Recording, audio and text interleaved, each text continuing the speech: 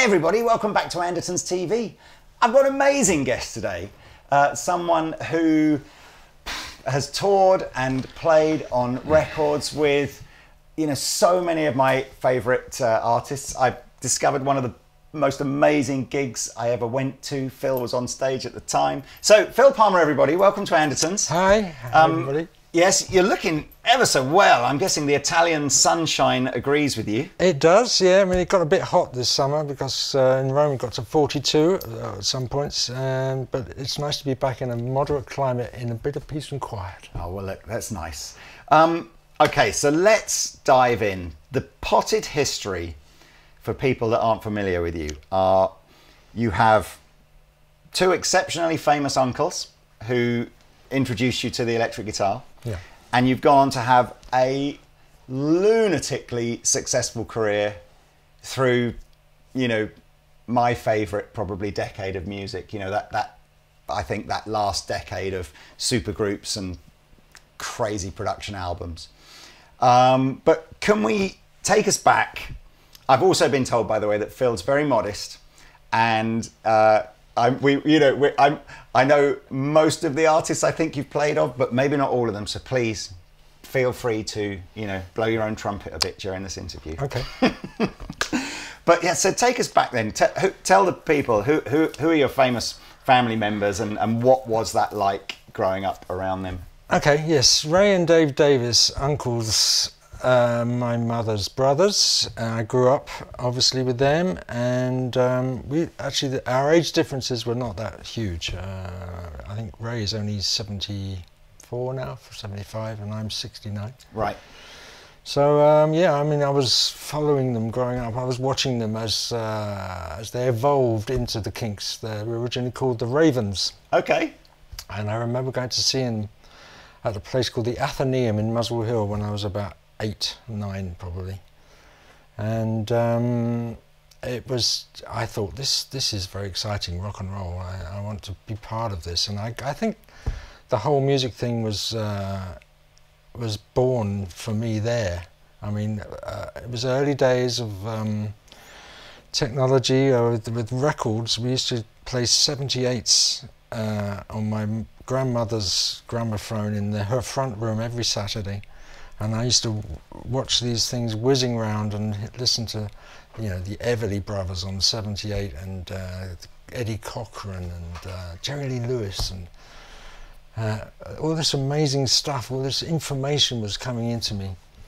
And the, the Kinks uh, evolved into the Kinks about 1962 and uh, I was 10 and they started to have some success. And uh, I used to watch them go up up the motorway in their old Thames van with all the equipment in the back. And I thought this is this is the life for me. And I think I was sold on it right then. I mean I you know you, my dad is same age as I guess Ray is. And I kind of feel like what a magical time that must have been to go from that real first wave of British pop, I suppose, you know, pop yeah. rock kind of stuff. And the Kinks were just, you know, pioneers, I suppose, of that whole scene. So, so was that your, you know, was that your first introduction to the guitar? Did they, did, were they literally sort of, you know, I'll give you a few lessons, Phil, or were you interested anyway? No, it was my uncle Mike. Right. Who taught all of us, actually. He taught oh, Ray wow. and Dave and me. Um, and he was a Chet Atkins fan and um, it, has been very interesting, you know, researching for the book that we'll talk about later, how many people were influenced by Chet Atkins at that time, yeah. that, during the 50s. And uh, so Uncle Mike was the, uh, the teacher for all of us, and we, we learned little, little Chet Atkins pieces when I was a kid. And then I started to get interested in, in the blues thing, and I, I remember listening to Big Bill Broonzy when I was very young. And, finding a piece of film, I think I saw it on TV or something, of him performing in a nightclub in, um, in Paris, I think it was, and just being fascinated by his technique, which I'm still trying to perfect. I mean, I've been working on it ever since then, and it's particular. It's um, the guys that were playing guitar around then, like Chet Atkins and like Bill Broonzy, had a technique where they it was like uh, a one-man band in a way. They had they had a rhythm going. They had they were playing the bass line and they were playing a top line all at the same time. And I thought that's really difficult, Yeah. and it is really difficult. Yeah. But uh, both of them, Chet Atkins and Big Bill Broonzy, had that technique of uh, sounding like it was a band playing, you know. And I, I think that's what fascinated me. What were your what kind of kit did you have back then to, to play on? Because this is presumably pre the sense that you know Fender or anything like that was available in the shops. Would you, do you did you have we like classic old catalog type guitars that would have been available over here? Uh, I think I had a Vox Okay. Phantom, which was a present from Dave, Yeah, which is shaped a bit like a 50 pence piece, yeah, which got lost somewhere along the way, which I still had it because it was. It wasn't a great guitar to play on, but it was a, sp- a sp- special thing. yeah.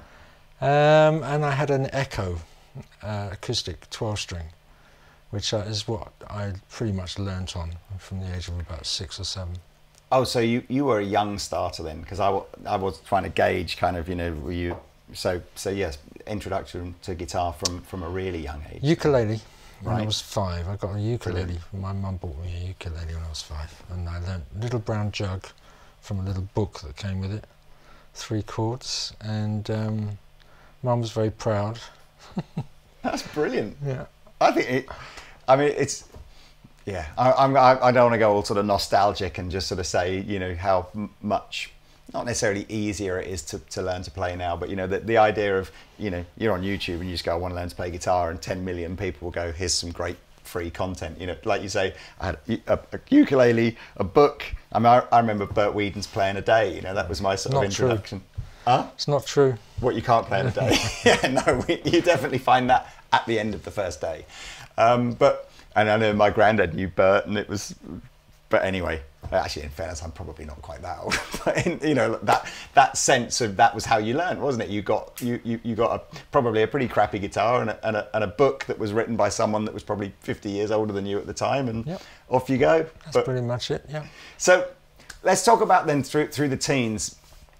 Are you so are you in London at the time then? Is this where you're growing up? Sorry, you said Muswell Muswell Hill, Hill, yeah, 'cause So Kings- pretty amazing scene at that time. And were you did you have the right haircut and everything at school? And you're thinking, this is me. I'm going to be the next. Yeah, I was not a John popular, Lennon, not a George popular Harrison. student. Uh, my my headmaster used to used to shout at me for having long hair and flared trousers. but um, yeah, I mean, I, it was it was a revolution really going on, and um, I got swept up in it along with my friend Brian. And we uh, Brian was my kind of uh, competition, and we both Right. learnt together and uh, we would challenge each other by finding new things to play, like David Graham and you know some. I'm, I'm waiting for you to clang Brian's surname as to be sort of like. Are we talking? No, No, okay, it's not- He, he was a purist, Brian, and he never he never developed into anything. He didn't want to do it professionally, and I did. That was the Well, so that's okay. Let's. What is that? What's what's in the, your you know DNA and your psyche that just went okay? Because I can imagine as well at that time. I certainly, you know, I, I remember my you know my dad who was professional drummer for a short period of time, but but really not in the style that his dad wanted him to. You know, there was a real sense of you know, the music at the time was quite rebellious and uh, not necessarily as accepted as maybe it is now. So were you were you did you feel that in society in terms of or or I mean the fact that your mum's two brothers were you know it's like rock and roll sort of uh, kings you know was was it was there a sense that your family was very open to you being a professional musician My dad was not too keen on the idea. My dad was a policeman, and um, he, uh, he was quite anti. And he'd, he'd seen what what was evolving, you know, with the drug scene in, in, in, the early '60s uh, with the Kinks and, and stuff. So he'd seen the the bad side of it, and he was quite um, worried that I might get swept up in that, which I must say I never did.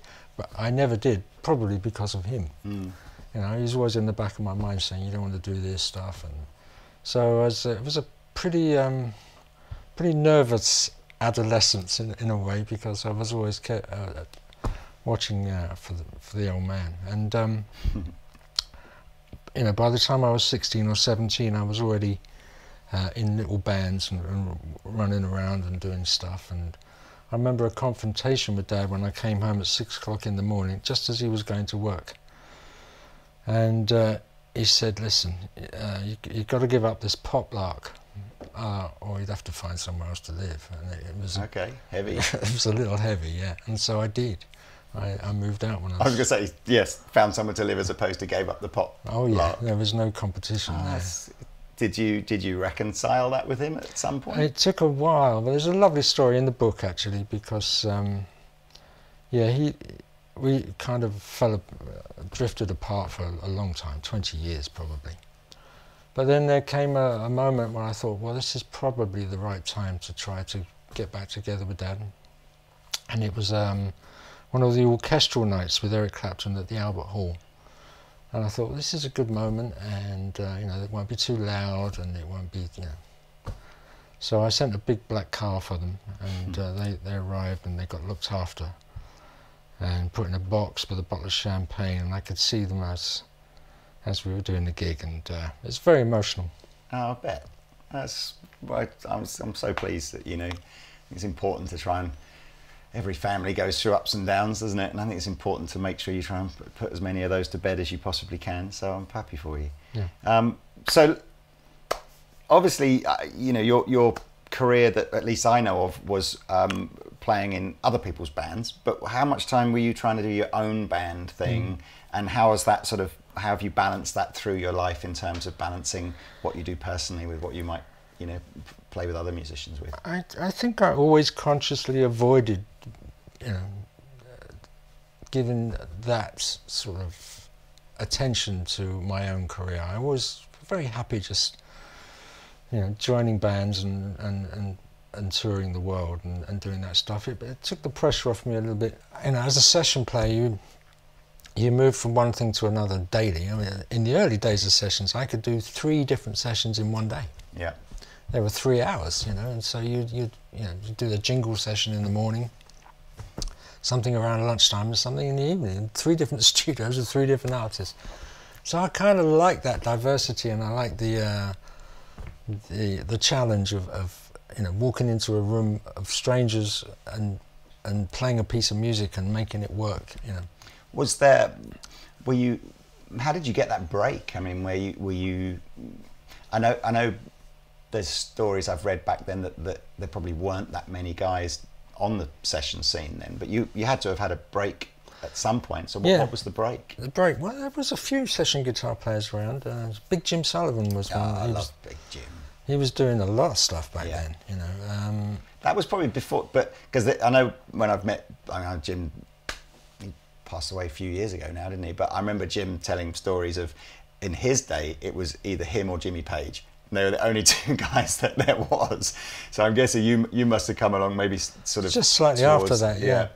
Now I got uh, involved in sessions because Uncle Ray opened a studio in 1970, I think it was, somewhere around there, called Konk, Konk Studios, and uh, they developed a little label also called Konk Records, and they had a few artists which they signed up to do albums, and um, Ray would normally produce. And uh, one of the first was a lady called Claire Hamill from County Durham, lovely girl, great singer, good songs. And um, I used to sit at the back in the corner of the, of the control room and watch it happen, fascinated by the procedure. And uh, some great players uh, showed up on that. It was Phil Philip Chen was on bass, and and Clem Cattini, I think, was Oh, the yeah. drummer. Uh, the keyboard player, I can't remember. Tim Hinkley, maybe Right. Anyway, it was a, a nice bunch of good good players, and I watched them, you know, develop ideas and songs in the studio. And I thought this is this is amazing, and I got to know Philip Chen very well, and um, he gave me some advice. Um, and one day when they were out at dinner, I um, I was noodling in, in the studio because Ray had a beautiful old sunburst Telecaster. I think it must have been a late 50s Telecaster with a white beading around the edge. And I loved that guitar. And I was noodling in the studio just while they were out at dinner. And uh, without me knowing, Claire had come back early and she was sitting in the control room listening to me play. And she said, You can play a bit. I said, I'm doing my best. And she said, Can you play on our next track? We need a guitar part there. So Brilliant. should develop a part and um, get comfortable with it. And um, and that was the first session I ever did. So that had been about 73, I guess, 74. And that, and then, so that was in Ray's studio, and and that was, was there a light bulb moment? Were you were you trying to balance a normal job with that at the time, or were, you already, you know, No, I- able to be full time? I reluctantly took a job because uh, Hmm. yeah, Dad was nagging me, and I, I I worked in a, a little factory in Colindale called Romac, um, and it was they made rubber projects um, products for the car car trade. And so I was doing that, and I was doing gigs in the evening, and um, running around doing all kinds of stuff, but it didn't last very long. The job, yeah. Well, I'm I'm pleased. So this was early '70s. Now, I guess I kind of, I can I think I kind of pick up your career probably '80s. So can we fill in the sort of the, the that sort of '70s, the rest of the '70s in terms of you know what, what you were doing and and it seems for me, you know, it's a it's a big old leap to go from being asked to play, you know, a guitar part on that first uh, session you were saying with it with an artist that I don't suppose many people will be familiar with, to some of the names that that you know you're playing with not long after that. So what was that sort of you know mid to late seventies in your career? It was all sessions, Right. basically. Uh, occasional gigs. I mean, I think I went on the road with Claire Hamill for a little while with that same bunch of guys, and it was good grounding, you know, because they were great players.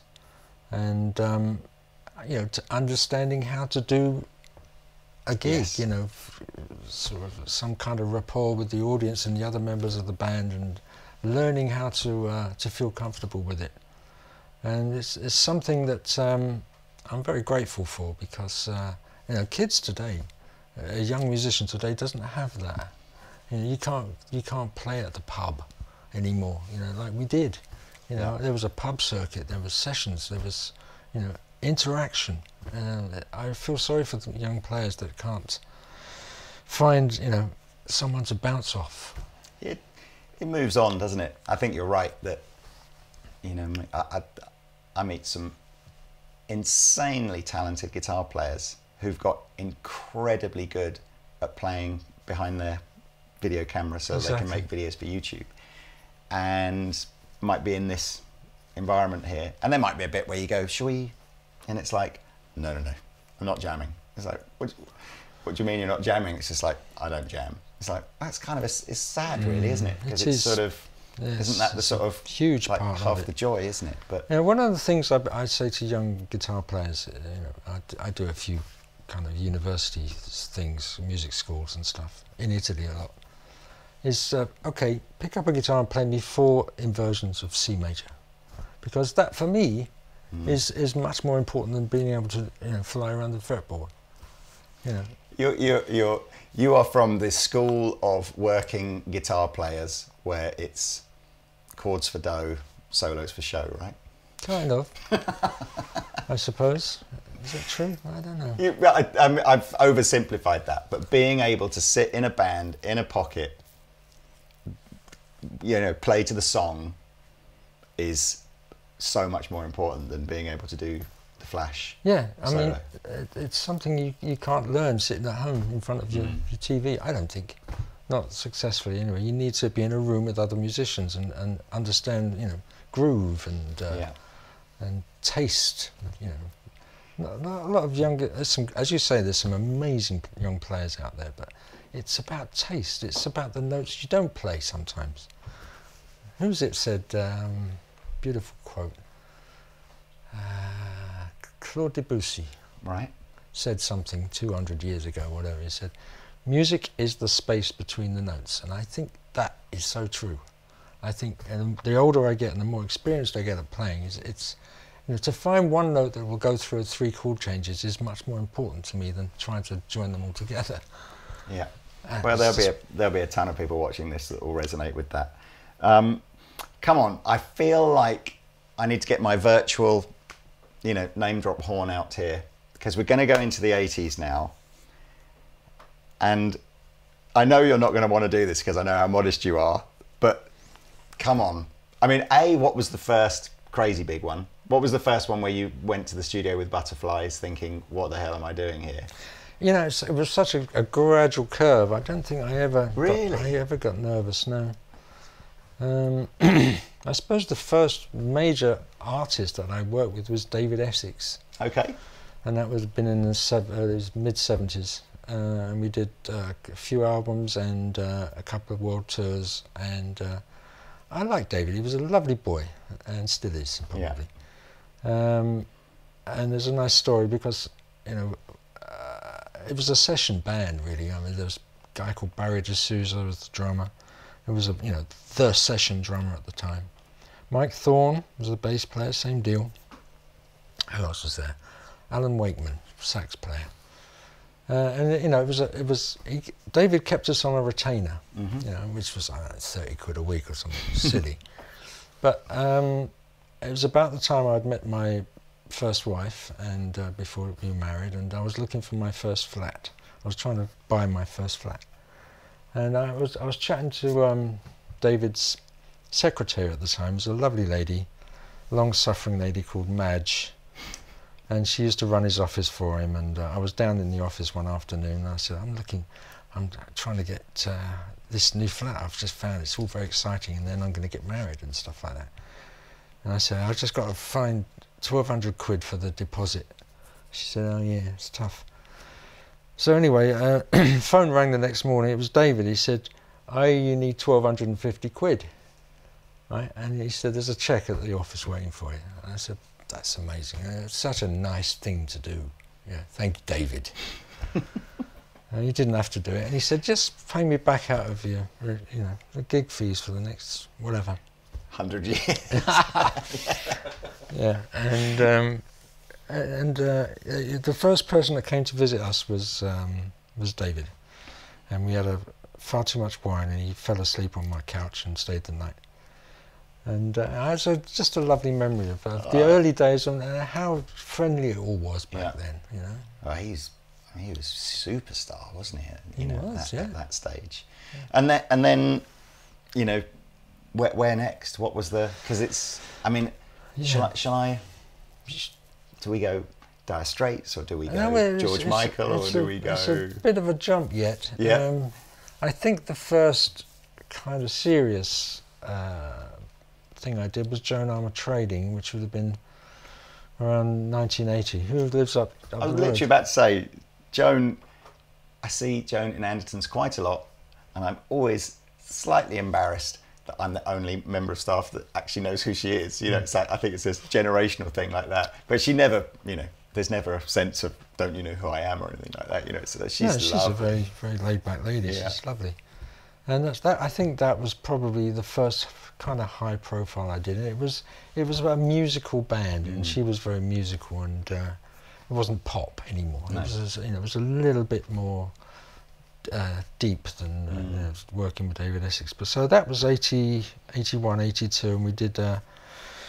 We did an album called To the Limit, which was quite a big album for her, which was produced by Glyn Johns, who at the time was probably the biggest producer on, on the planet. You know, he was, he'd done the Eagles and Zeppelin and all, all kinds of people, and it was. I think I was probably more nervous about working for him right. than anybody prior to that. So, um, apart from maybe Frank Zappa, which was a little bit uh, stressful. Clang. Fair enough. Okay, it's getting good now, isn't it? Basically, because it's where it's just it's just going to be a clang fest. So come on. So, Joan, and then and then where? Where are we going? Uh, okay. Um, yeah, that evolved. Um, we did a, a world tour with Joan in 1982 called The Key. Key Tour. And uh, then I went back to sessions and I started doing. Let me see. is it- chronologically, it's hard to remember, but you know, as you're doing these things, and it's your job, you, you, you go and you walk into a session and it goes flying by and you forget about it, you know. And it wasn't until I started writing the book that I started to realise just how much I've been doing, you know.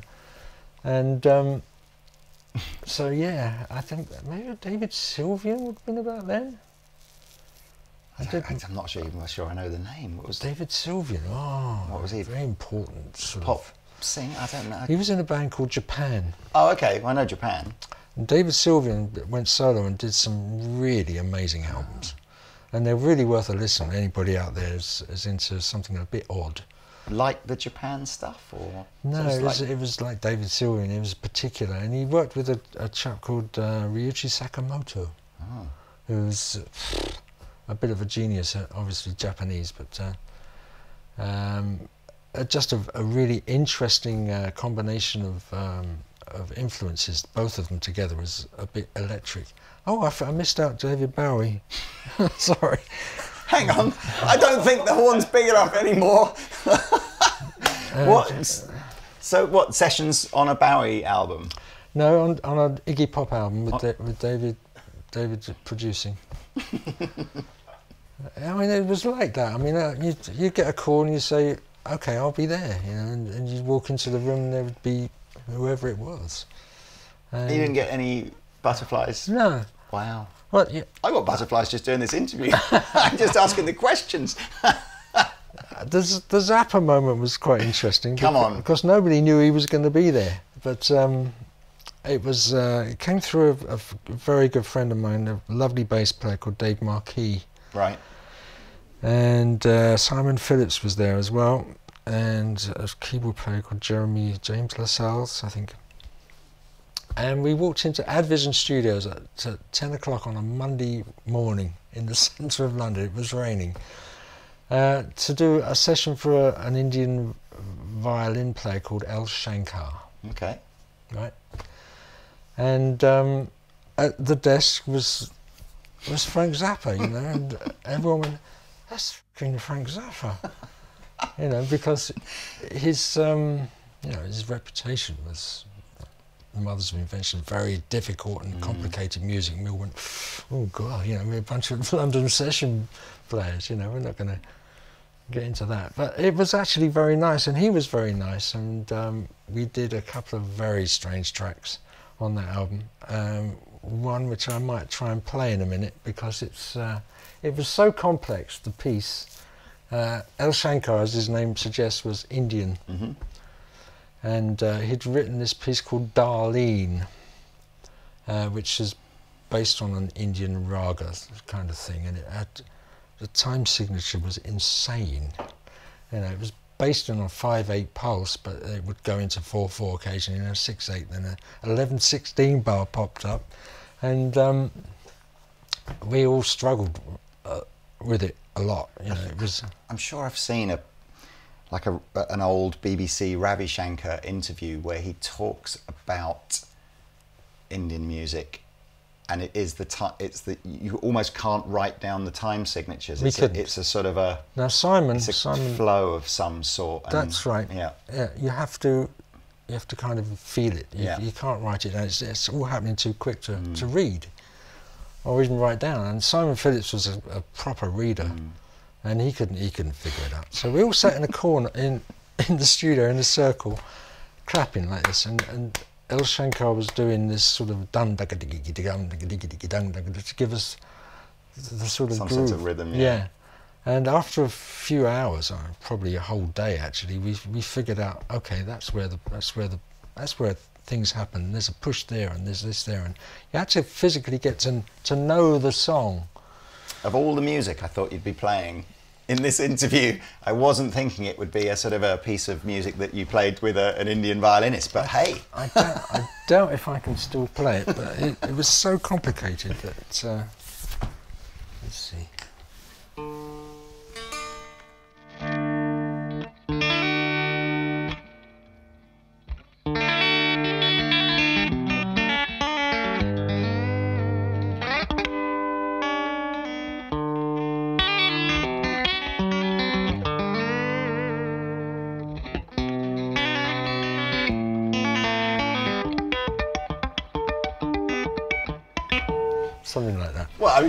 Bearing in mind you just literally pulled that out from 30 odd years ago or more than that, uh, I'm impressed. It was Um, one of those things that you know, it, it's just stayed in there because we had to. We did probably seventy takes to get it right. Wow. And it, but it's anybody interested out there. It's a fabulous little piece of music. Uh, it's called Darlene by L. Shankar, and it's from an album called Touch Me There. I think. Oh, there we go.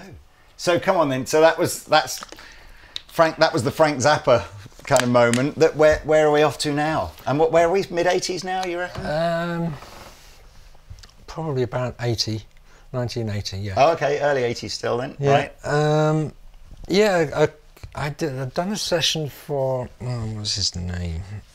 Good Earth Studios. Who used to own Good Earth Studios in London? I can't remember his name. Very famous producer. For Ralph McTell. Right. It's just one of those, you know, afternoon sessions Yeah. that I, I just done. And obviously, this guy had connections with with David Bowie. What's his name? He's very famous. I'm rubbish at producers, so apologies. I can't help you here. Um, okay, so uh, somehow my name got to David Bowie, who was in Berlin producing an album with Iggy Pop, and it became known as The Idiot, and it was a bit of a milestone album. There's some great tracks on it. The, the original China Girl was on there, Right. the original of that, and another track called Night Clubbing, which got covered by a few people later on. And um, I, I was still at home, okay, so um, it was four o'clock in the morning, the phone rang, and my mum got to the phone before I did, right, and she came up the stairs and said, Philip, there's a Mr. Bowie on the phone for you. And I was convinced that it was one of my mates wind up, yeah. messing around, yeah. Uh, and it was him. And he said, uh, "We'd like you to come to uh, to Germany to play on this album." I said, "Okay, fine." And uh, I just took this. I just took this Telecaster with me. No caster, sorry. And um, I got on the plane uh, two days later, and uh, I spent a week in uh, in Munich because they did, they'd moved studios by that point.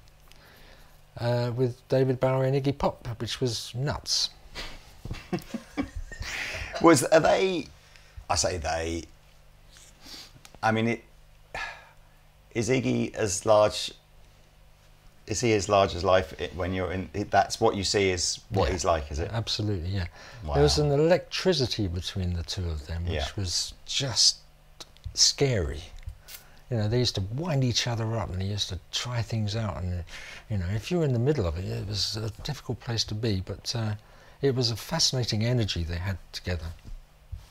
It's just, I'm, it's, it's just crazy. I mean, I th- in the interest of just trying to sort of get to the current day, we are going to have to move on in the sense of just keep going through Sure, your, yeah. all your artists and stuff like that. But I tell you what, we'll talk about that in a minute. But you know, you can get the extended version of this interview I suggested in, in the book. Um, so where where are we going now then? All right, yeah. That would have been after Joan. I went back into the session world, and I was probably doing. I don't know. I did some Tears for Fears. I did some uh, Howard Jones. Maybe it was a bit early. I did uh, some Chris de Burgh. Now Chris de Burgh was a. Bit Lady in Red. Yeah, I did Lady in Red. That's me. Oh my god! How long was that number one for as well? I mean, Yeah, that- now you're getting into the bit where I, you know, songs from the big chair. Didn't everybody of my age and probably, you know, when had that album, probably, you know, one of the albums of the 80s. Yeah, I think it is the album in the Yeah, 80s. you, you're you're on you, you play on Lady in Red, do you? I do. Every, you know, for, for decades, the first dance at every wedding that there was. that was my Amazing. idea. Yeah. I'd been listening, on the way down to the studio that day, I'd been listening to uh, Marvin Gaye. Came on the radio, I thought, Sexual Healing. Oh, I thought, this is such a great track. And I think I was still thinking of it. I got in the studio and they said, "We got this tune, and we think it's uh, it might be finished. But if you've got any ideas, bung them on." I need a plectrum. I don't think I've got one. Oh, hang on, I might have some. Oh, I've got one. Oh, well done. And so I started playing this little, little noodly thing.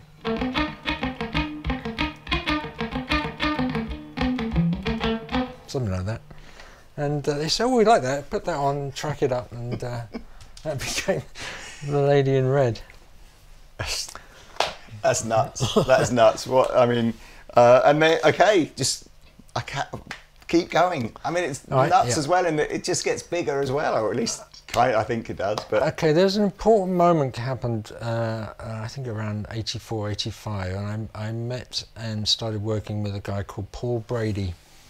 And Paul Brady was a fabulous Irish singer-songwriter. Uh, and we, we got on really well, and we did a couple of really nice albums and a couple of really good tours around Europe. And um, you know, there's footage online of Rockpalast and, and things like that, the German TV show with us playing. Very young, very uh, kind of a lot of energy, and uh, Brady was amazing. And um, I suppose towards the end of the 80s, the middle, middle to end of 80s, uh, we we'd done quite a lot of work, and we were playing at a club called the Mean Fiddler yeah, yeah. in Harlesden in London, and uh, it was a, a, a rare London gig for, for Brady. We had done all the provinces, we'd done Ireland, we'd done Germany, etc. And Brady was a bit nervous about playing in London, and um, consequently he was he was kind of pushing the tempos up and stuff like that. And I'm playing away, and I think I'm playing this, and I looked up, and is Eric Clapton in the audience, right? And, uh, and my fingers turned into bananas, basically. I couldn't play.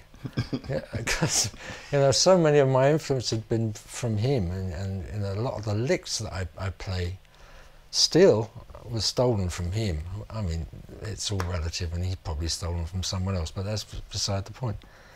And so I, I felt very uncomfortable, and he's standing there, and I thought, I can't, I can't look at him.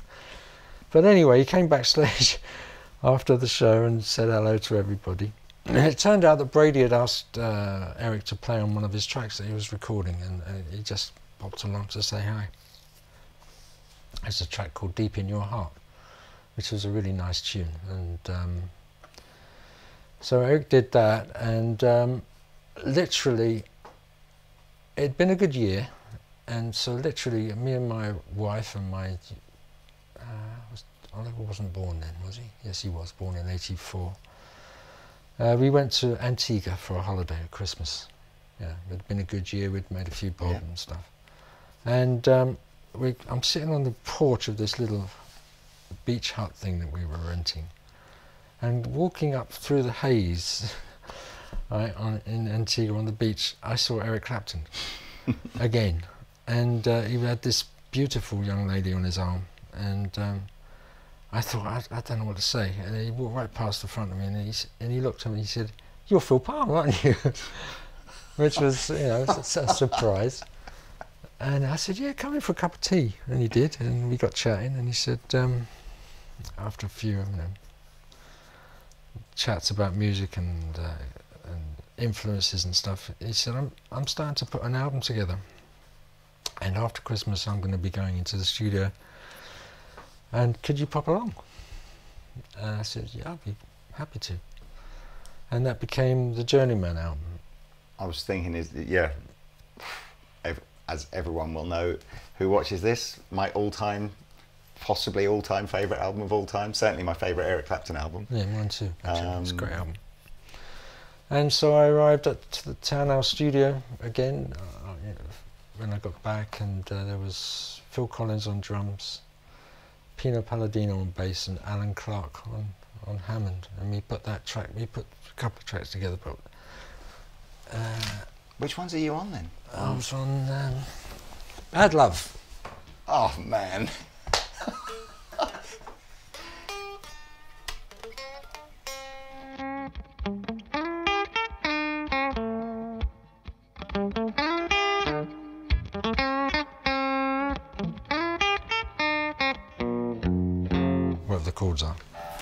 That.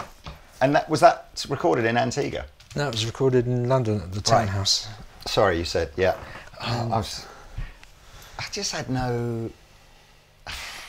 I, I, I got to hold it together here and try and carry on some sort of and and you, still no butterflies. Then you just it's all in your stride at this point, Uh, is it? yeah, You're just I- I'm Phil Palmer and I- I'm I'd known Pino for a while already by then, and uh, yeah, he was a friendly face, and I knew Alan as well. I, I think my first meeting with Phil Collins, but um, it was very relaxed, very nice. You know, we we did the track and all went for lunch and uh, uh, it got on really well. I mean, yeah, that, that's that. Yeah, I mean, for me, that, that kind of those three albums, I think the the, the one with um, Forever Man on it, which was the one before, wasn't it? Then then uh, or, or August as well, and Journeyman. Yeah. That, that that trilogy of, of albums is just again defined a sound. I think of a of a of a you know of a decade. It was fantastic. And I think, in a way, that was just Eric checking that you know, he didn't need me there really, but I think he wanted to check that I was able to uh, to you know, put it together in, in the right way, and um, then he asked me to go on the tour. And that would have been a big tour. It's a huge tour, yeah. Yeah, and this is this is that kind of yeah it it's that for me it was the heyday of just the amount of money that artists or record companies would throw at albums and tours. Yeah. and it, the scale of it was just it's hard to see. I, I, maybe maybe i'm maybe tours still some you know there's so much money i suppose it's still involved in, in touring so the scale of them. But you, i just i just feel like the 80 you know that that that sense of it was okay to spend six months or a year or two years in some cases, you know, recording an album in the most expensive studio there was with the most expensive session players there was. It just doesn't happen anymore. No, it doesn't, And hasn't probably since the 80s. Uh, it, was, it was still going on in through the 90s, but uh, yeah, as technology uh, started to uh, take over, it was uh, those events Well- start, stopped happening. So how did this um, bef- before we started filming? I was saying to Phil that, that that you know it was kind of freaky because one of the first big gigs I ever went to. I always say that I, I say the best gig I ever went to was my dad took me to see uh, Queen in 1986 for uh, you know, and I, I, I was 14 years old and it completely blew my mind.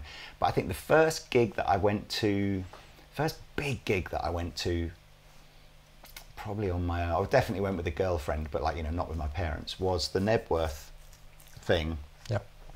So were you at the time? Who whose band were you sort of formally in to That go was, on? that was still Eric's so band. that was still Eric, right? So Yeah. this is before the Dire Straits stuff. Yeah, in fact, there was an interesting crossover on that day, but um, So for people that don't know, this Knebworth gig, I don't even know if it had ever really happened before.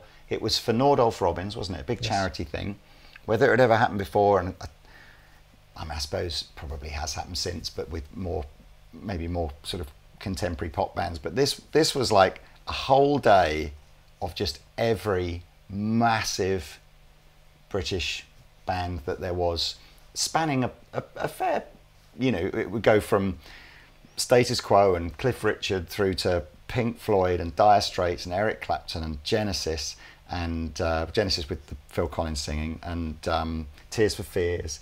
Um, who else would have played that? God. It was it was and there were there must have been a hundred thousand people, one hundred fifty thousand. I can't remember. It was. Knebworth Bowl. Apps. There's the, the I, I had the album and it was like a double fold out album with a helicopter shot of the crowd basically, and it's just. I look at is the it back in of the book. There's- Oh, you, oh, you might. So I mean, it literally was just uh, insane. I can literally remember where I was standing. I was I was standing. Oh, look, there's Frank Zappa. um, uh, no, that's. Not, I don't think the shot that is unless this is the one I'm talking about. Oh, there. Well, there you go. Eric Clapton in his pink suit. I remember that.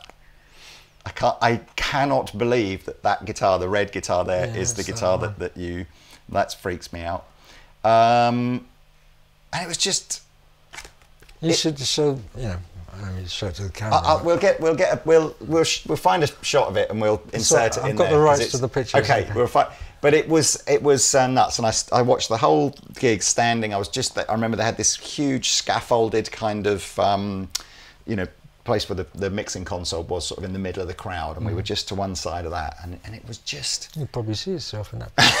oh yeah, carefully. with the bad haircut from 1990 for sure. Um, so I mean, we have to talk about that day. Um, Yeah. What the, the build up and everything must have been nuts, wasn't it? that band, Eric's band was, I think, the best band in the world. Um, certainly then. Uh, it was Steve Ferrone and Nathan East and Greg Phillinganes and Alan Clark and uh, Ray Cooper and Katie. the percussionists, right? Yeah, yeah. I, I, I can remember. It's like, wow. It was just a stupendous band, and I was very privileged to be part of it. But by the time we'd played uh, Knebworth, we'd been on the road for probably a year Right.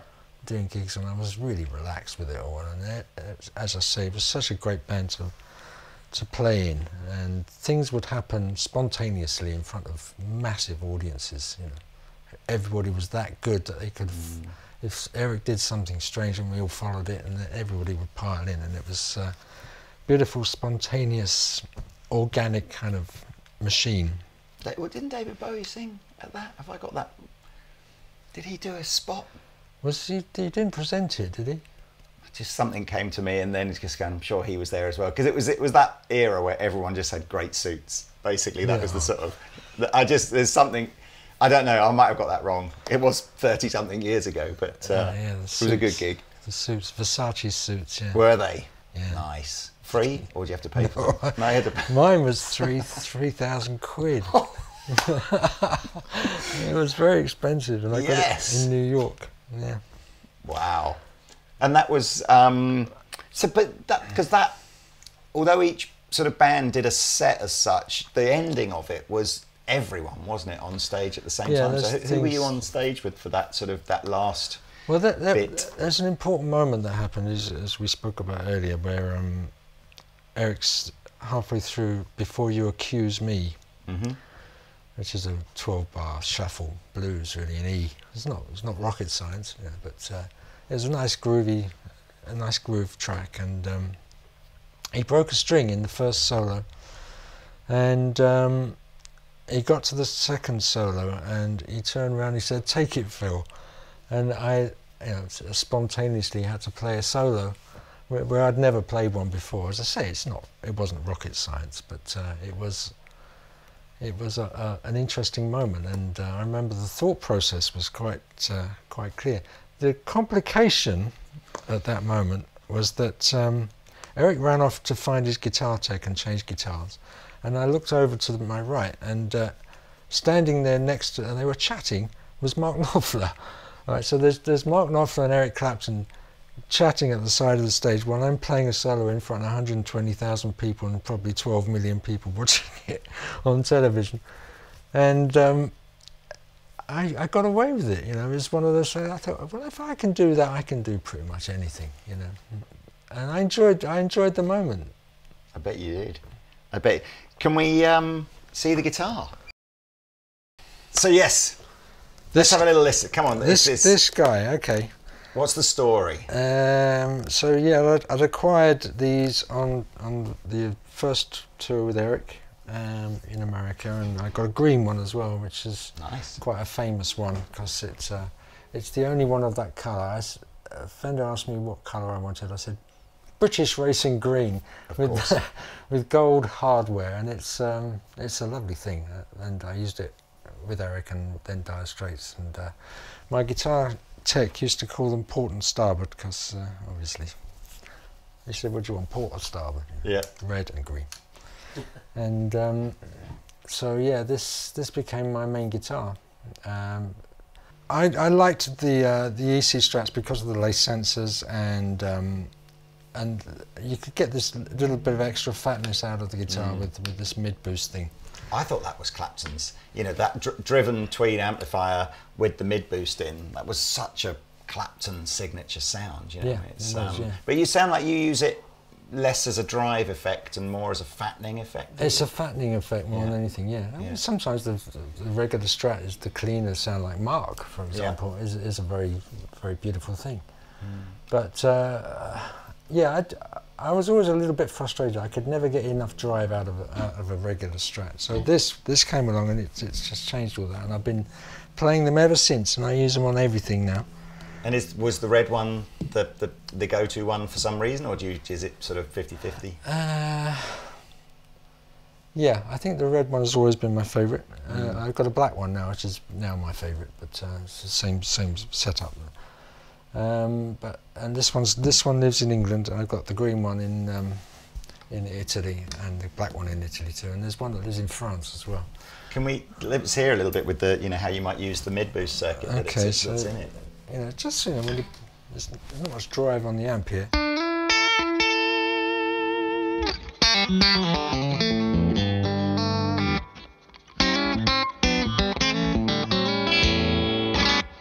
Kind of, it's quite compressed, but uh, so if you want to suddenly do a, a nice blues solo,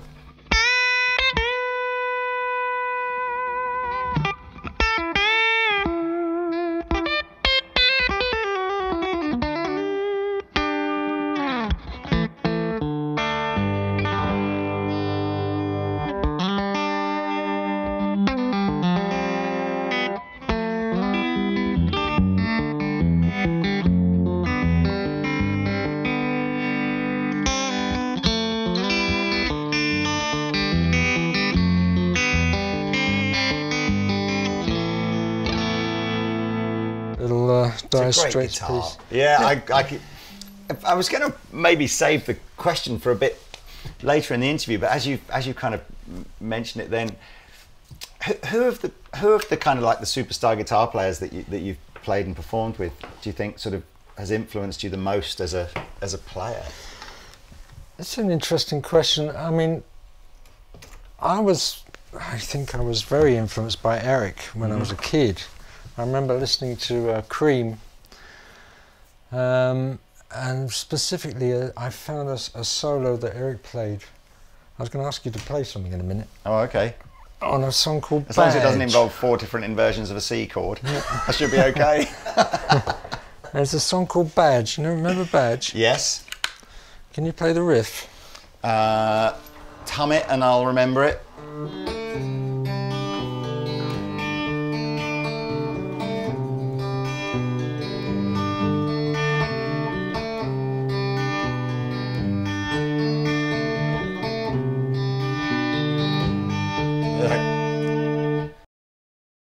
Okay, that's This pretty is, where, much this is where we need a better guitar player in there, but I'll do my I'll do my best, and you're just going a little noodle over the top, are you?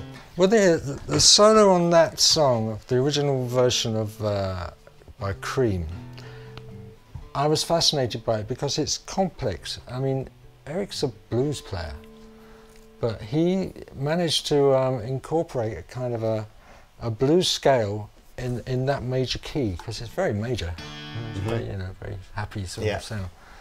And uh, the solo he played on the original, I just, I was in absolutely, I had to learn it. And I sat down in front of my mum's stereogram with the record, with, you know, and uh, got very good at lifting the stylus in, in the right place. With my, my Eko uh, acoustic, learning that solo. Well, let's shall we shall we shall we try it? And um, the reason it's so so clever is that he uses a lot of semitone bends in Mhm, it, and um, I found I found that really challenging. I think it is challenging for a lot of guitar players. You know, we're all used to doing, you know, Yeah. but and getting it in tune, Yeah, yeah. it's not easy. And that I think you hear that straight away with that Clapton thing of almost the change in key of the of the song. He'll use those semitone bends to, to just go from one mood to another in a single bend. It's, it's very Eric Clapton. It is. thing. It's one of his Yeah. tricks, and uh, but he, he does it beautifully. And so uh, the solo of Badge.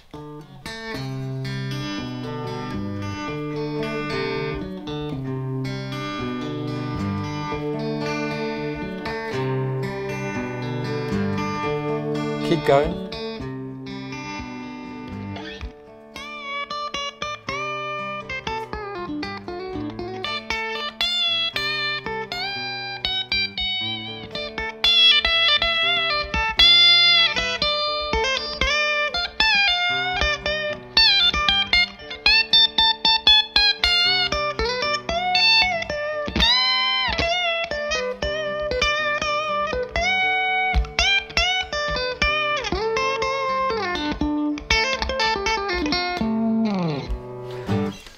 It's a thing of beauty. It's a melody within Yeah. a melody. You know, it's uh, that uh, you know, I I think I was in a you know I was working in a guitar shop during the late '80s, with Eric Clapton being my idol, and having to sort of feel like I was constantly defending him against people that were going, oh yeah, but Steve Vai is much better, or Joe Satriani is much better, and I was sort of a bit like ah. You know, but I'm glad in a way. I think people appreciate him more now for exactly that that that sense of melodic yeah. soloing as opposed to just technically complicated soloing. Yeah, you know? and you know Eric will never play the same solo twice. and you know we we there was a, a moment in um, South America at the River Plate Stadium, Argentina, in front of I don't know 30, 80,000 people, a lot of people. And um, right before we went on, on, we did the sound check, and Eric said, "Does anybody know the song Badge?" Right. Right. And we knocked it together real quick, and I said, "Can I do the solo? like, can I do the first solo tonight?" And uh, he said, "Yeah, go ahead." And so we got to the um, the first solo, and I played his solo, that one. Yeah. I just played, and um, from the original Cream version and there was this lovely moment between us. If there's some video somewhere, if you want to you know, find it, it's uh, where he's just laughing his head off because you know I'm looking at him and he's looking at me, and there's this lovely moment of uh, of realization what I'm up to. You know, that's insane. I, I still think now that the solo off of Bad Love. Some of the bends and some of the, you know, yeah, yeah, it's like, like three tones. Yeah, I mean, I've, you know, a few times that I think, come on, I'll sit down and learn this. It's just like I'm never, you know, it's just it's a different level, you know. It's, it's, it's, I don't know. It's spontaneous. That's the thing. Right. You know, it's, n- it's never worked out. I mean, was that was that the beauty of being in the studio? It's just and and you're just you know a few takes and then all of a sudden the magic and that that's the one. yeah, just, pretty much. Yeah. That's but insane. on you know live, you never hear the same solo twice, and you know you had to be on your toes because depending on how he felt, he, he you know a solo could last you know, in minutes rather than bars. You know, you count the minutes and you just go for it. And it, well, that's what the audience is there for, isn't exactly, it? and, you know, and like... people loved him for that. And sometimes he would he would fuck up, uh, you know, because he just run out of ideas or run out of fretboard sometimes. I do I do think again this is supposed to be about Phil Palmer, not Eric Clapton, but you know I I do still kind of feel it's like it's worth taking a dive, you know, for young guitar players now people will maybe see Eric Clapton and they'll they'll see perhaps the sort of the, the, the, the, more recent stuff and and and much more revisiting of very very traditional blues and maybe it might not be their thing. But if you if you look at that sort of 70s and 80s period of him it's just like he was rock and he roll. he was on fire yeah on I must fire. say yeah he was. Um, which is nuts. Anyway anyway come on we, we were we were at Knebworth I think Oh yeah. And then you mentioned Mark Knopfler. And so, and I is so is that then the uh, was was that was that shortly after that that Mark said, you know, why don't you yeah, come and play with us uh, for a bit? pretty much. Um, we did a rehearsal for Knebworth, and we we played a few tunes with Mark, and uh, we seemed to hit it off okay. There was a connection anyway, um, because uh, I mentioned Paul Brady mm-hmm. early on, and uh, Paul Brady was the same management as Dire Straits. A guy called Paul Cummings was mm-hmm. the um, was the link there. So they kind of knew about me anyway. But um, yeah, the Knebworth show, we, we decided to amalgamate the two bands and uh, have uh, Mark come on and John Illsley came on and mm-hmm. Guy Fletcher. And we did uh, a few Dire Straits tunes. Um, including Money for Nothing. And uh, did we do Sultans? I can't remember. I can't remember. But I'm uh, definitely going to try and dig out the double album from somewhere though when I get home and remember it. And there's there was a track that um, Mark had written for someone else called I, I Think I Love You Too Much, which is a great tune. Uh, and we played that, and um, so that was my first time on the stage with, with Mark and, and Dire Straits and Eric all at the same time and it was a it was a joyous occasion in many ways. Um, we got on. Um, Mark soon after, I oh know. Let, let, me just tell you the story because uh, I think it was important. Uh, after that event, after Knebworth, uh, Eric continued to tour, and he was doing great business all around the world. And you know, he was doing two, three nights in the same venues and stuff like that around mm-hmm. around the world. and we were loving it. And the band was amazing. And then we had two events quite close together, which changed everything with Eric. And once one was a helicopter crash with uh, Stevie Ray Vaughan, um, and the second was his son, Mm. uh, Conor, who uh, f- you know, had a terrible accident. And uh, I remember going to the funeral in Ripley, up the road, and uh, very sad day, obviously. But um, we had a chat. I had a chat with uh, Roger Forrester, who was Eric's manager at the time. And uh, Roger said quietly, he said, I, I don't think Eric's going to be doing anything for a while. Mm. You know, so, um, you know, if something comes up, you should probably take it. And he said it to everybody in the band, and everyone went went home and thought about it. And uh, the first thing that came up was uh, the Dire Straits tour, and uh, and I, I decided to do it, and um, signed a contract to do it. And literally two or three days later, I had a call from Eric saying, "I'm not going to sit around doing nothing. I'm going to do an unplugged album." Right. can you do it? And I had to say no. And it was a tragic day. I mean, I, I, I tried to get out of the Dire Straits tour, in, in actual fact, but they wouldn't let me because I'd signed the paper. And so uh, I was kind of tied into Dire Straits for two years, which was, you know, that, who got? Because Andy Fairweather Low then did all the um, yeah, he did it after that. yeah. unplugged thing, wasn't it? Yeah. And that would be a whole. I think for a generation of people, that'll be what they know Eric for. You know that much more laid back bluesy acoustic versions of tunes. But Mm, mm. oh man, I mean it's just it's difficult one that one, isn't it? To sort of go. Yes, yeah. It's not like you didn't do that album and never worked again. You didn't do that album and did something else amazing. But I know what you mean. It was Yeah. a pretty landmark Mm. album that one, wasn't it? It was, yeah. You know, what is that, 20 million or something, that album? I, I don't. I don't know. I just, it was. It was. It was it, that, and and it was the MTV era as well, wasn't it? That, of that whole. I think they say that it's that one and the and the. Is it that one and is it the Nirvana appearance on MTV are the two most watched, Mhm. you know, things of all time on MTV. But um, well, hey, let's talk about let's talk about Dire Straits though, because I mean, hey, I mean, again, crazy super group of a band. You know, it's just so. What was They were huge, yeah. Um, Brothers in Arms, was it? It's- 30, 32 million Yeah. albums? And that song, Brothers in Arms, that's still one of those songs I literally, My borderline feel like I want to cry every time I listen to that song. It's such a beautiful, People do in Yeah. the audiences, Yeah. it's it's crazy. Um, but but yeah, and that was that.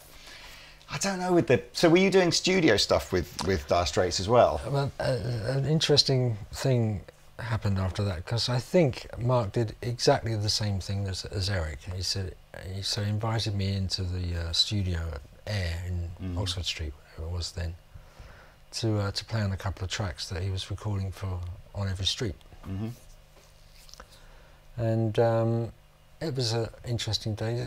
I, I noticed Jeff Porcaro was there on, on the drums that day, and um, you know some, uh, some great some great tracks on that album, some really nice playing, and he had me. Um, okay, we had we had a sort of experiment going. He said you uh, he wanted to, me to play this little arpeggio part. He said it's quite intricate, and I want you to be exact right? And this this is some kind of uh, audition, really. You know, Mm. just I think not not to make sure I could play. He knew that already. Um, but to make sure that I could be precise and to, to follow those kind of orders. And uh, we fiddled about with the riff. For, I think I played it earlier. Of um, on every street there's an arpeggio.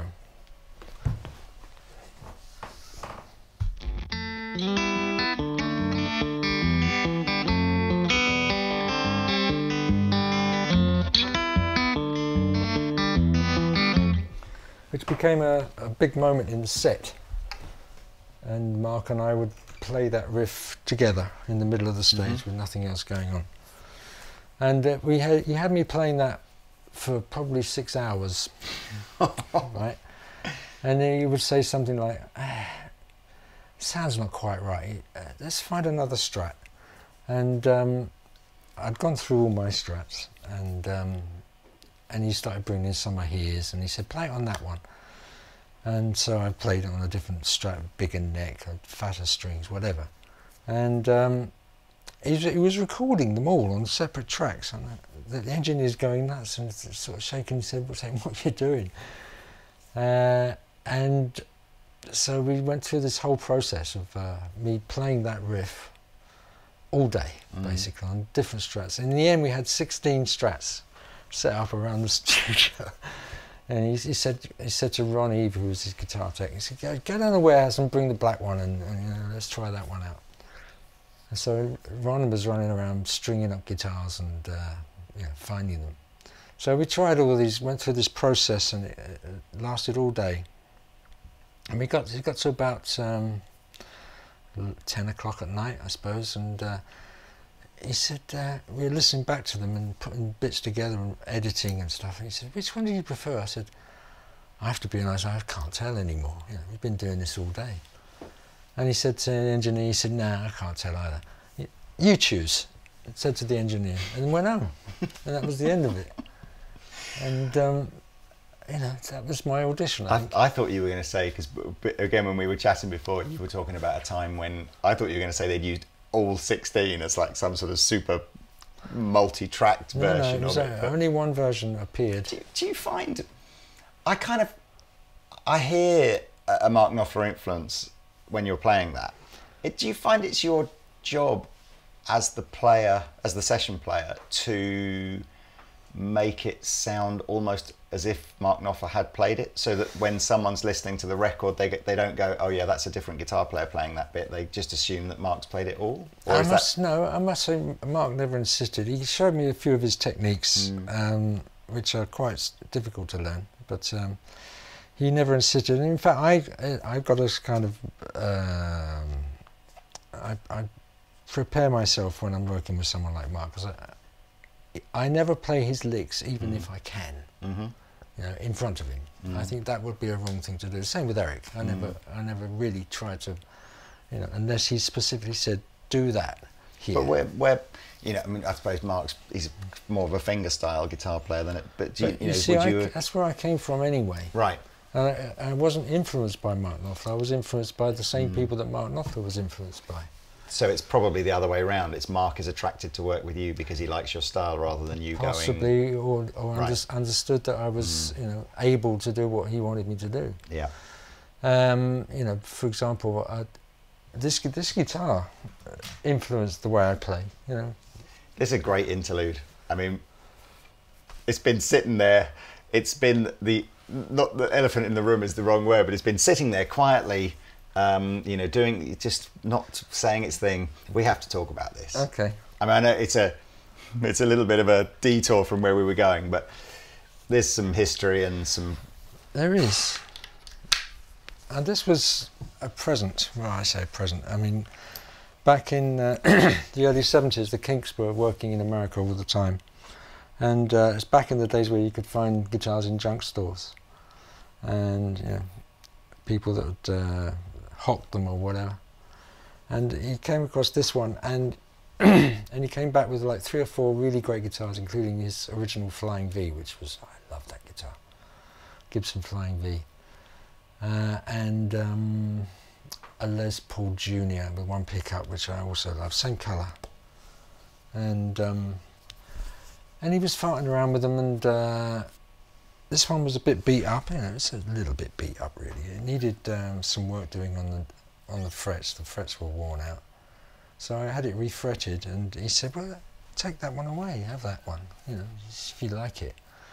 And I did, I loved it. I mean, I fell in love with it. It, it, changed the way I played this guitar. I mean, this guitar is responsible for my style, if you like, because you can do things with it you can't do with other guitars. I mean, I used to I used to listen to a guy called Roy Buchanan. Do you remember mm-hmm. him? all those, that, and the behind the, behind, all that stuff. Very cool. And um, that's that was my influence. He was my influence. Roy Buchanan and uh, Scotty Moore was it? Uh, pickers, you know, country mm, pickers. Mm. Even even Chet Atkins, as we mm. said earlier, influenced my style a lot. So this guitar really chose me in in a way. It's a bit like the um, the, the concept of the, the Harry Potter wand. you know, the wand chooses the wizard rather than the other way around. You, you are you are impossibly modest because you've managed to tell the whole story of this guitar without actually going.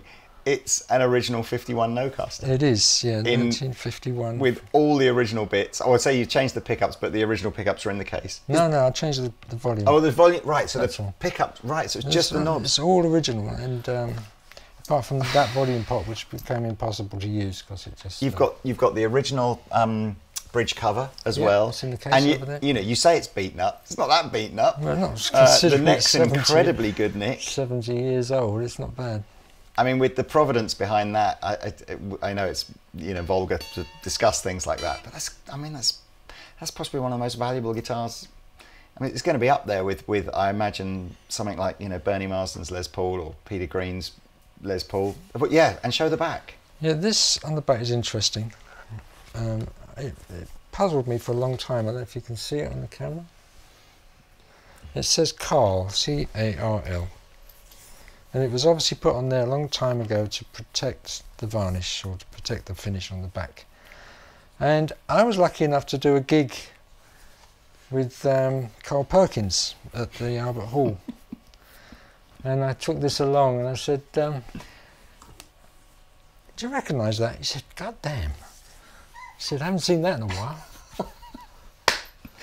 So it's probably, it was his at some point. I don't know what, how it found its way into a junk store in New York, but um, but David bought it in New York and brought it back, and so um, we did a bit of research on it. We had it refretted at Roker's. There's in the case. There's um, Brokers on Denmark Street. Yeah. yeah. Roker's did the refret, and then in the case somewhere there's a there's a receipt for a top nut, one pound seventy five. One pound seventeen shillings and sixpence maybe.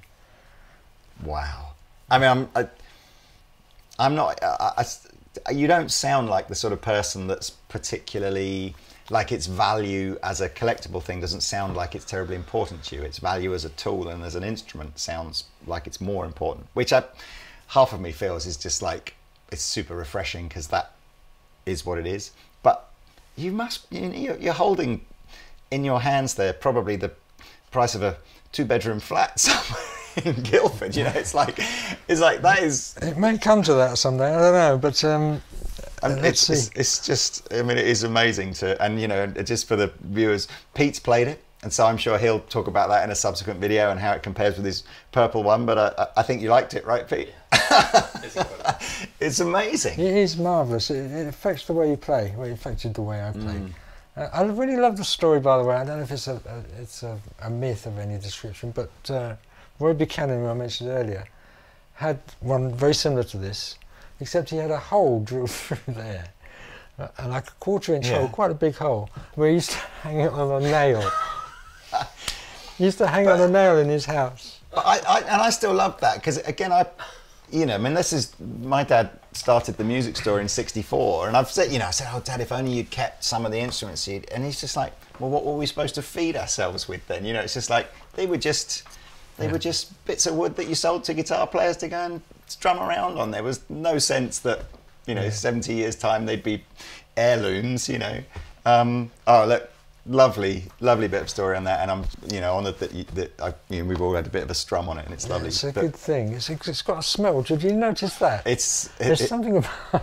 maybe I'm just weird, but uh, I love the smell of old guitars. And you open the case, the original case too, and you, it, it's got this history comes out in, in an aroma. It's amazing. It's, oh, it's amazing. Okay, so back on track here because I know we've still got one or two, maybe more crazy level artists. So let's Dire Straits, amazing sessions, touring, crazy.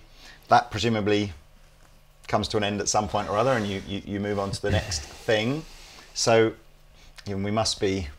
Where are we at now? Mid mid nineties. Mid nineties now, Yeah, yeah, because the Straits finished in 92, 93. right?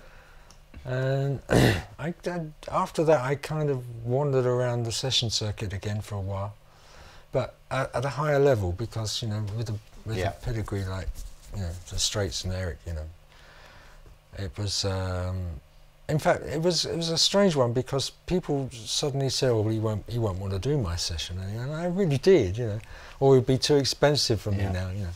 So that all went on, but you know, I, I managed to persuade people that I wasn't gonna wasn't gonna cost too much, and I was willing to do it. So, so I, I went back into the session circuit, and we did some great stuff, you know, and we did a lot of um, house band things, big charity events at that Mhm. point, um, you know, with people like Pino and uh, Phil Collins, and, and it was a it was a house band kind Mm. of thing, and we did some very interesting events in that format, including the the show for Montserrat.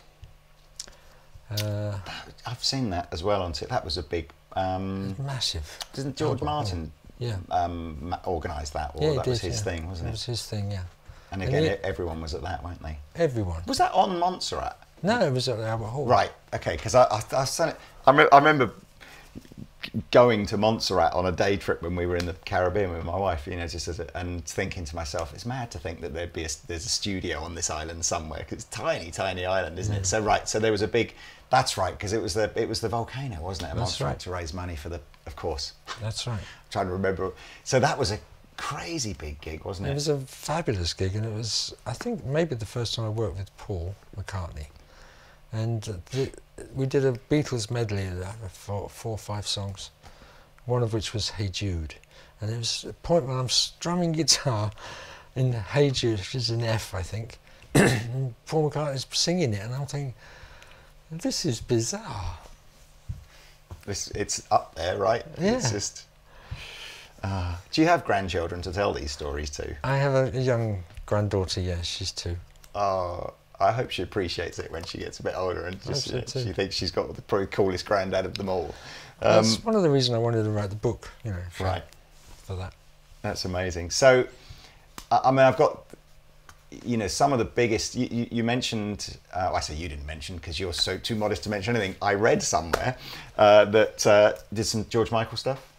Oh yeah, George. Yeah. I mean, doesn't again a bit of a not necessarily the same audience as as Dire Straits, but it's you know arguably the you know one of the greatest male singers of all time, and you know certainly uh, in his peak didn't come any bigger than that. So no, it's true. You didn't.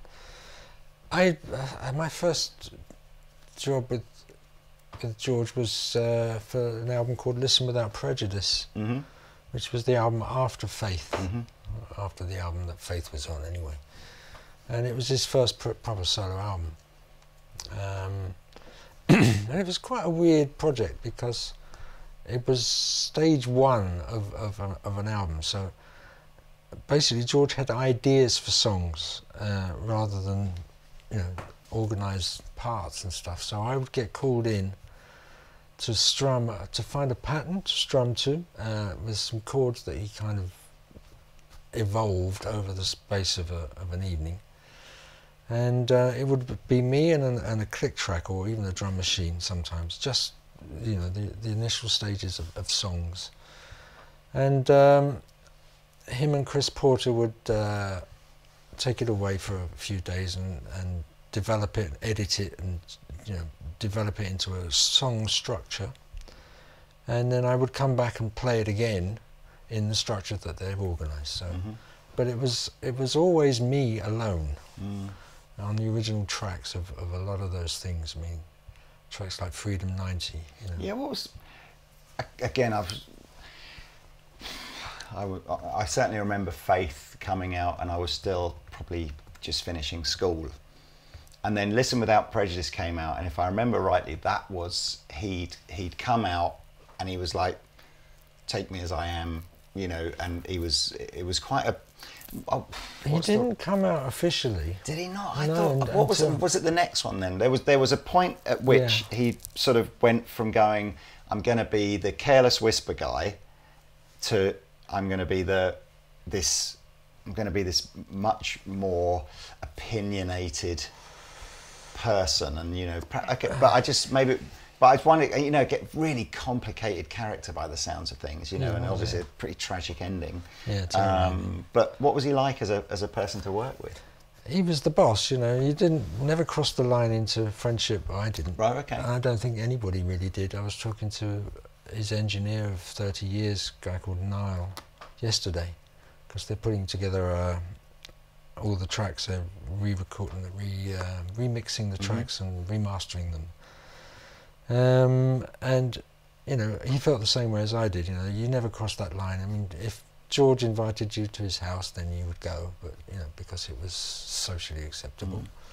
But you'd never cross the line into being a friend. I mean, there's only one guy that I can ever remember that was able to cross that line, and that's Danny Cummings, the percussionist. Mhm. And he had a great relationship with George, and they had, you know, Danny could take the piss out of George and Mm. get away with it, you know, because he would make, make George laugh. Mm. But he's one of the few people that could. So it, it was not, a, I wouldn't say it was a friend, Mm. although we did work together for 30 years. Did you? w- So you must have been in the. You know, were you in in sessions where he would sing and you were? So I mean, was that? Because I just think he's unbelievable vocalist. You know, just was that spine tingly kind of stuff, or or are you just just another? It was another person that you thing, work with. yeah. I mean, he was, he would fix a lot of stuff afterwards. I mean, like we all did. you know, Right. and track things up to make them sound great and stuff.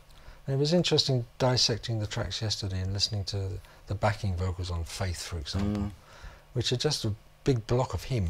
Right. You know, maybe 12 tracks of different voicings and uh, different takes. And it was it's a fascinating process. But he was he was meticulous about how he Mm. did things, but uh, not always brilliant. Honestly, not always. Well, I suppose it's He was human.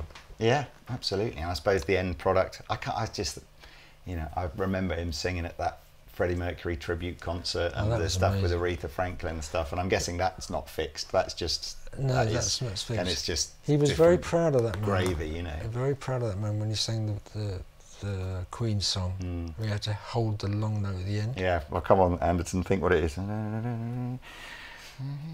Some, somebody to love. Somebody to love yeah, it. mental. He was very Mm. proud of that moment because he was shitting himself before that show. He said, ah, this is a high note, it's right at the top of my arrangement, I've got to really Yeah. hold it. And he did it, and he did it great. You know, it's um, all power We- to him, really. Were you, were you on stage for that show as No, well? I. I was waiting for that. I was No, I thinking. wasn't there for that. That was the one that you didn't do. Okay, fair enough. So uh, you know, and again, so career-wise, then, are you?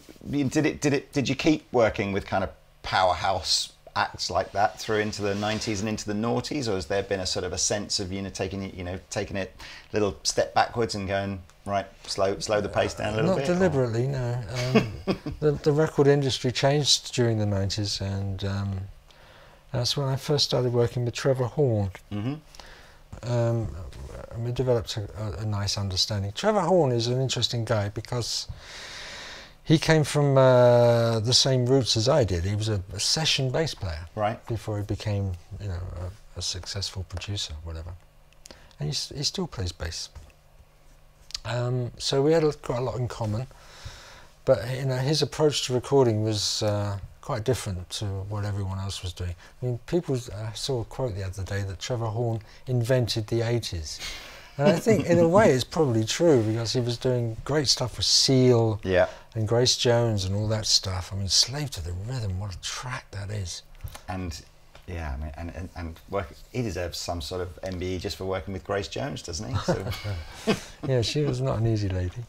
Um, but, you know, great records, great Yes. ideas and fabulous sounds and stuff. Mm. But, and, but it, you know, the, the industry was changing. We were, you know, we'd gone from analog to, to digital, so everything was edited in a different way. And, uh, you know, suddenly all these possibilities became available to record producers and musicians that it didn't have before. mm, You know, before and uh, before uh, digital, it was a razor blade and a on a piece of tape. You know, that's what editing was back then. So yeah, the editing became easier. The sampling started to happen. The uh, the MIDI started to happen. All that stuff was suddenly revolutionised um, the music industry. Uh, the Linn drum appeared, and um, know, drummers started going out of business and uh, losing gigs. And then suddenly uh, there was an extra person on recording sessions called a programmer.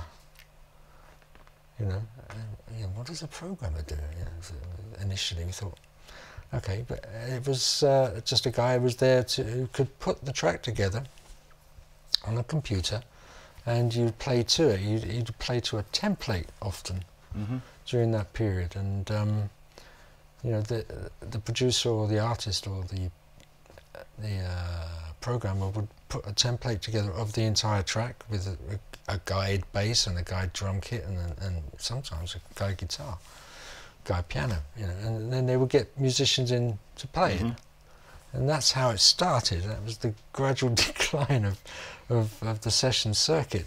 Do you think that um, there was a period of time where just the guitar became marginalised as well in music, and just therefore there wasn't the opportunity? Or It was the most difficult thing to synthesize. I mean, Mm. uh, you could get a, a, a believable piano sound and, Yeah. and a, eventually a good bass sound from a, from a machine. Um, but guitars were always a little bit more complicated to. Mm. You know, there's so many variants inside the sound of an acoustic guitar, for example, and they didn't get that right for a long time. I think they probably have now. So what, was that? I mean, were you comfortable in the sense of did you feel like you know you'd built up your PPL kind of royalties and you'd you know you'd you'd obviously from an ambition point of view you know there wasn't many things left to sort of tick you know that you hadn't done was it quite a comfortable sense of going look you know it's fine if my career's going to go in a different direction now I'm I'm cool with that or was it was it was it more It's uh, a gradual process. Deal it's with? probably over 10, Right. 15 oh years. so okay it didn't happen overnight. It's, it was a very gradual thing. But during those those years working with Trevor, I was often the token human on, on, on sessions. You know, to someone to come in to mess it up a bit because it was too too polite or too correct or you know, Mm. without groove or whatever. And I did a lot of sessions in that period. Yeah. Who were you working with? I mean, what, I mean, I can think of a few massive bands that you know Trevor produced, but who were you involved with? I did the Pet Shop Boys, Right? um, which I loved. They're great, those two. Yeah, Neil's in it. yeah. Um, what else did with Trevor? We did uh, Lisa Stansfield. We did. Lots of it's a. They're all not maybe not so much the Pet Shop Boys, but was was there a sense there was?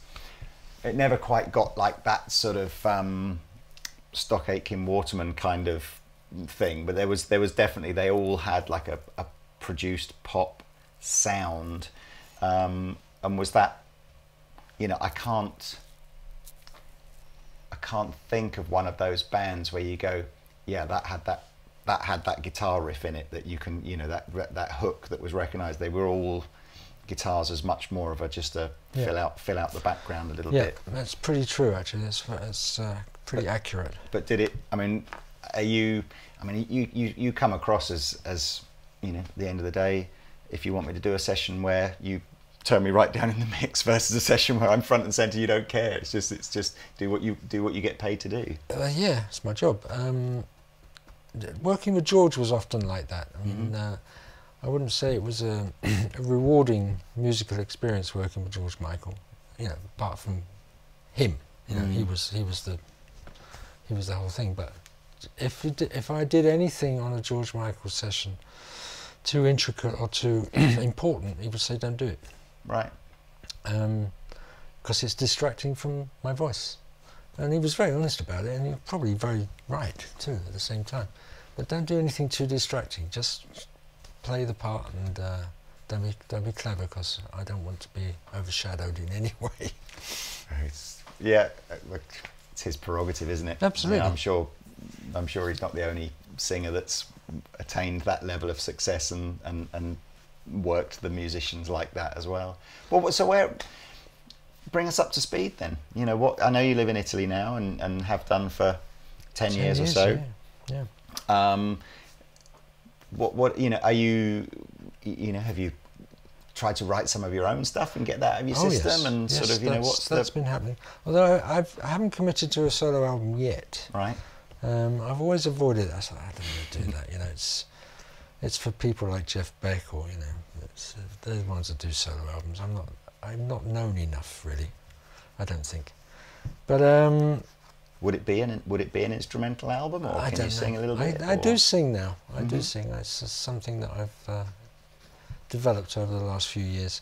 because um, you know you have to reinvent yourself uh, during these periods of change. You know, you can't just hope that it's all going to come back again because it won't.